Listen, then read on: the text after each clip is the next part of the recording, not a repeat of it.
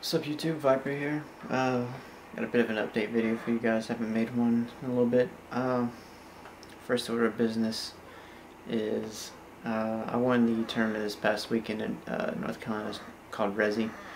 Um, played some really good people there. It's like a, uh, see there's, a bunch of GNG people from Asheville, I believe they were, like Crimson, JJ, Hostel, and uh, a bunch of other people. It was just it was a really good tournament.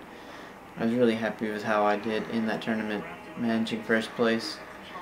Um, I really would like to see some more people out there next month because I know there's like there's plenty of people in North Carolina that play the game, just people not showing up. Um, next tournaments I got coming up, I will be at Battle and Brew this next yeah this coming Thursday the fifth. Atlanta. That should be a really good tournament. Um, coming after Pig. I can't. I can't. I gotta stop losing to him as much as I do. I gotta figure something out. Um, and after that, who knows what tournaments I'll be to after. I know. Well, I'm planning to go to Raleigh. We'll see how that goes for MLG. Um, that's pretty much it for the tournament stuff.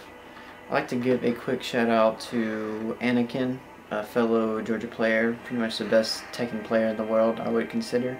Uh, he really needs our help getting uh, votes uh, on this website, which I will have in a link.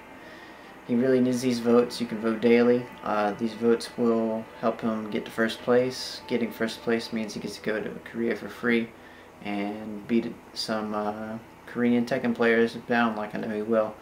But um, again, please vote for him. Uh, third thing, not a big deal, but kind of eh.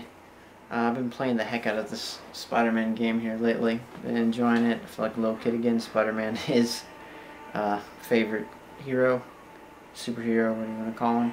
Uh, I have every game that's been made uh, for Spider-Man for the most part. Um, just got done recording all the footage for the all the unlocked costumes. That should be coming up next with this update video. Um, I don't think I have really much else to talk about.